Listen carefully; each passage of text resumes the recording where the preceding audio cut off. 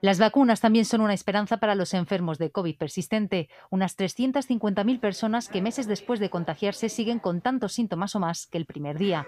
Pérdida de memoria, cansancio extremo, problemas para respirar.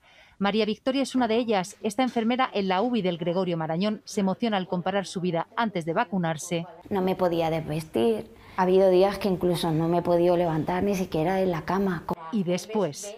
Cada día me encuentro muchísimo mejor, Sí es verdad que todavía me quedan restos, pero mm, soy un poco más la persona que era. ¿Cómo te encuentras después de la vacuna, Vicky? A Victoria, como a otros muchos compañeros sanitarios del Marañón con COVID persistente, les ayuda el doctor Tejerina. Lo que se cree es que como un 50% de las personas mejoran, como uno de cada dos. No, no tengo muy claro quién va, quién va a ser, cuánto va a durar eso.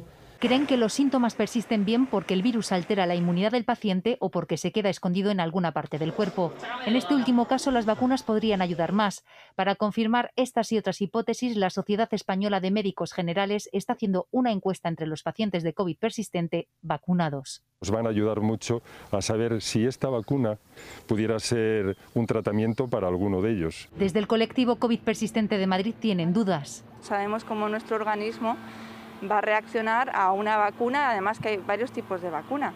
Todos no van a mejorar, aseguran con las vacunas, por eso piden más investigación. Yo he tenido la suerte de ser agraciada con esta vacuna, pero tengo muchos compañeros que por favor necesitan que les ayuden.